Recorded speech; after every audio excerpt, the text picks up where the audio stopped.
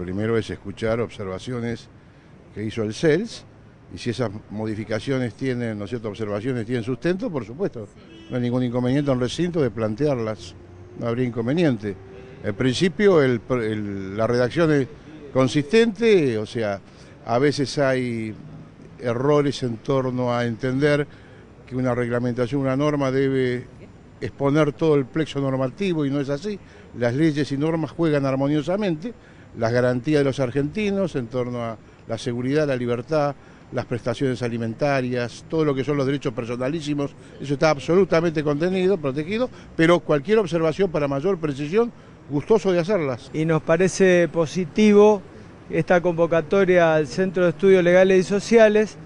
este cambio de posición del oficialismo de abrir el debate nos parece positivo, así que vamos a concurrir a la comisión. Y vamos a escuchar cuáles son las, propuestas que nos hace el CES o alguna otra agrupación. Eh, también tengo entendido que va a venir la oposición hoy, cosa que no hizo la semana pasada. Eh, como ustedes saben, ellos optaron por hacer una conferencia de prensa en vez de venir a dar el debate en el ámbito de las comisiones, así que vamos a, escuchar cuáles son las propuestas, y, pero nosotros seguimos insistiendo que son normas que es necesario aprobar,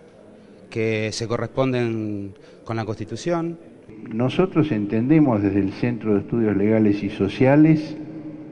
que eh, la iniciativa del Poder Ejecutivo de enviar estos proyectos para su discusión en el Congreso era una deuda de la democracia argentina, que la justicia necesita de la mirada de la política, que la política tiene que hacerse cargo del tema a través de sus legítimos representantes y esa es la lectura general que nosotros tenemos sobre el conjunto de los proyectos. Nosotros desde el CELS hemos utilizado las medidas cautelares a lo largo de 30 años para la defensa de los derechos humanos. En consecuencia, entendemos que es un instrumento eh, muy importante que eh, no, no debería ser afectado por una reforma que tienda a la democratización de la justicia tal como se han presentado los proyectos. En términos generales, yo diría que la reformulación que nosotros planteamos del proyecto se concentra fundamentalmente en las excepciones que el proyecto incluye y que en el proyecto del Poder Ejecutivo eh, que tiene dictamen de este cuerpo, con algunas eh, modificaciones interesantes introducidas a partir de observaciones de los, de los distintos senadores, se plantea como excepción aquellas situaciones donde esté eh, comprometido en forma directa, dice el derecho a la vida, la salud o de carácter alimentario. Nosotros hacemos una reformulación en ese sentido eh, porque nos parece que, digamos, es fundamental a la luz de nuestra experiencia de lucha por los derechos este, humanos, ampliar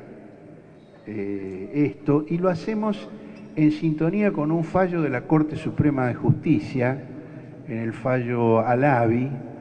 eh, tomamos, digamos, como base la fórmula que la Corte Suprema de Justicia utiliza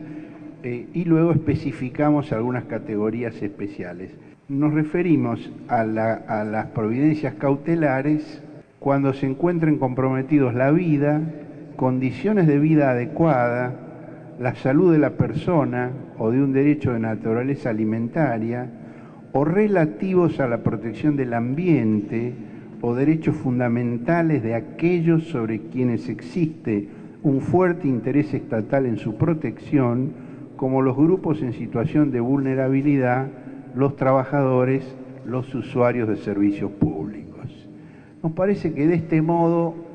no se afecta en absoluto el, propósito eh, del proyecto, pero se especifican digamos, aquellos sectores